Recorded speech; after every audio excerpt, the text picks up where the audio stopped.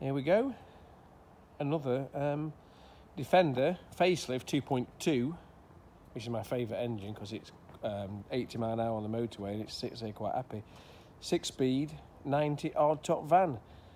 So we have a Seeker Heritage Edition, and I call them the Heritage Edition because the colours. This is a, a beautiful sort of 60s blue colour in my opinion. And that's why I call them the Heritage because the colours still stand today. So you on this one, you've got the roof colour coded by Seeker Styling.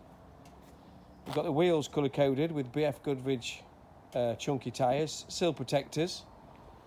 You've got the uh, Heritage bumper, the Heritage graphics, the colour coded front Heritage grille. Absolutely beautiful example. 49,000 miles. I'll show you inside. How clean this is, guys. This is not done any heavy work. Dog guard, facelift dashboard, unique Seeker styling wheel cover, tow pack, protection pack, mud flaps, dog guard CD player. Just look how clean it is in the back as well. Give us a call.